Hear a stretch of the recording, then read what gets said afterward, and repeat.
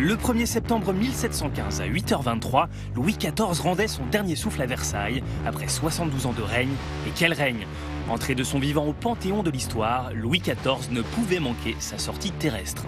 À l'occasion du tricentenaire de sa mort, un livre de l'historien Joël Cornette, des concerts inspirés de ses funérailles et une grande exposition au château de Versailles viennent opportunément rappeler les événements qui entourent la mort du monarque.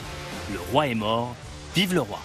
Le titre de l'exposition, Le roi est mort, eh c'est cette formule célèbre, Le roi est mort, vive le roi, que l'on ne disait pas d'ailleurs Le roi est mort, vive le roi ensemble. Hein. C'est Le roi est mort et il est mort donc le 1er septembre à 8h23.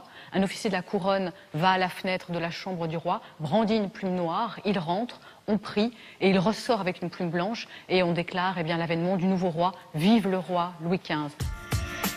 Pendant les 23 jours de son agonie, courtisans et chroniqueurs se pressent au chevet royal. À l'image de sa vie, la mort de Louis XIV est un spectacle. Le roi a vécu toute sa vie, euh, j'allais dire comme une scène de théâtre, et ces derniers moments, sa mort, eh bien, se déroule là aussi comme une scène de théâtre, sur son lit, derrière cette grande balustrade dorée. Songez que dans la chambre du roi, il y a 50, 100 personnes qui assistent jour par jour, heure par heure, euh, je dirais, au déclin du corps du roi. La mort du roi étant très subite, eh bien, elle surprend tout le monde et on a six officiers de la couronne qui finalement se plongent dans les archives pour savoir eh bien, comment organiser ces funérailles, qui fait quoi. Évidemment, on a ces rangs qui se disputent évidemment euh, euh, les responsabilités et on décide finalement eh bien, de faire comme on avait fait pour Louis XIII. Il voulait des funérailles sobres comme le furent euh, celles de son père Louis XIII. Mais en fait, dans la réalité, euh, eh bien, il y a eu un, cérémonial qui s'est déployé et qui était euh, assez spectaculaire.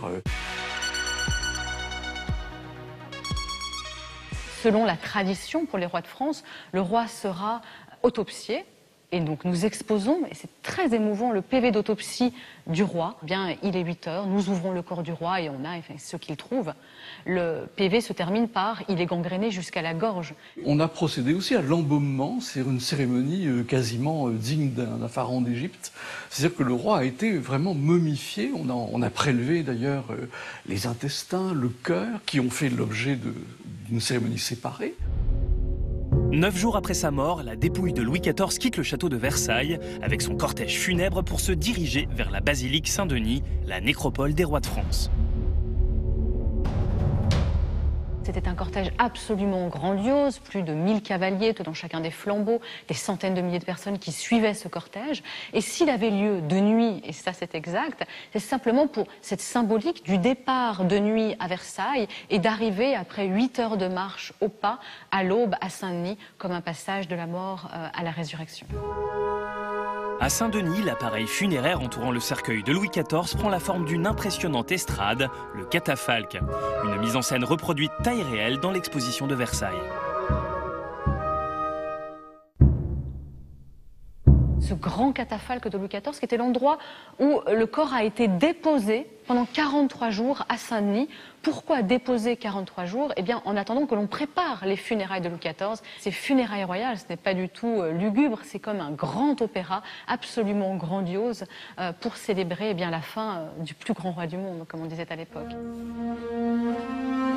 Le tricentenaire de la mort de Louis XIV, c'est aussi des concerts à la chapelle royale dirigés par le chef d'orchestre Raphaël Pichon, ardent défenseur de la musique baroque française.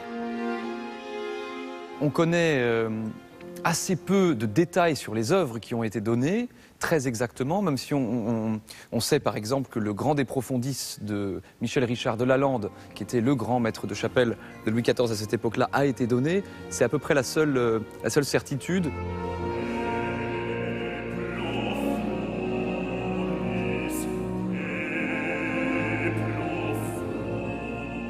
L'idée, c'était plutôt de créer un concert en plusieurs tableaux qui soit le plus évocateur possible. Il n'y a absolument pas besoin de connaître quoi que ce soit à cette musique pour pouvoir se laisser transporter euh, aussi par évidemment la, contemplation, la grandiloquence, le théâtre, le drame euh, qui surgissent de toutes, de toutes ces musiques si différentes les unes des autres.